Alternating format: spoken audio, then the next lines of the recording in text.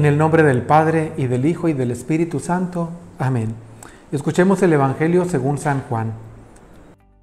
En aquel tiempo los discípulos le dijeron a Jesús, Ahora sí nos estás hablando claro y no en parábolas.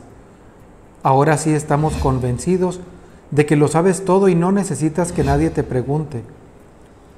Por eso creemos que has venido de Dios. Les contestó Jesús, ¿de veras creen? Pues miren que viene la hora mas aún ya llegó, en que se van a dispersar cada uno por su lado y me dejarán solo. Sin embargo, no estaré solo, porque el Padre está conmigo. Les he dicho estas cosas para que tengan paz en mí.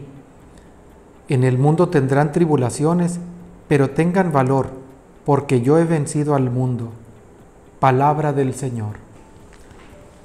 Jesús eh, está predicando, está hablando con los apóstoles y al parecer como que llega un momento en que les hace clic lo que Jesús les predicaba, porque Jesús era claro y las parábolas eran para que entendieran. Pero aquí dice, ahora nos estás hablando claro y no en parábolas.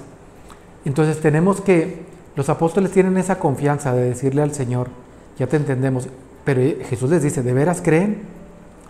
Y, y bueno, ¿de qué está hablando? De la fe. Una fe que tiene que ir acompañando toda la vida, toda nuestra vida, y así tenemos que pensarlo.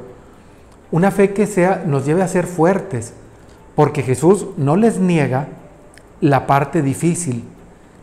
Dice Jesús, les he dicho estas cosas para que tengan paz en mí. Atención a esto, paz en Cristo. No dice que no va a haber tormentas, no dice que no va a haber enfermedades, no dice que no va a haber persecuciones pero que tengan paz en Cristo.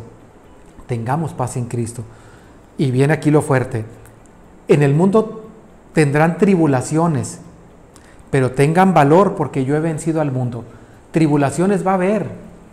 Nunca, nunca digas, es que ¿por qué me pasa esto si yo creo en Cristo y yo he rezado? No lo digas, porque Jesús nunca nos prometió una vida sin problemas y sin tribulaciones.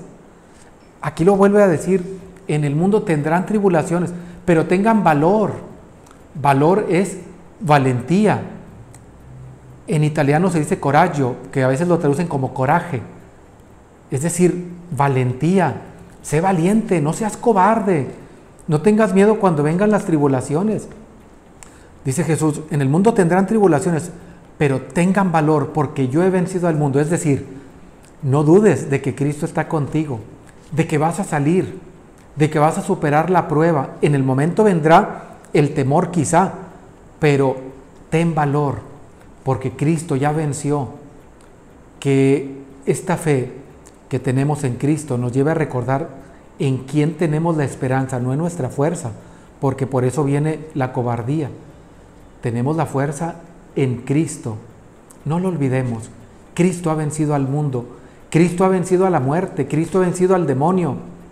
Por lo tanto, como dice San Pablo, si estamos en Cristo, en Cristo somos más que vencedores. Y la bendición de Dios Todopoderoso, Padre, Hijo y Espíritu Santo descienda sobre ustedes. Amén.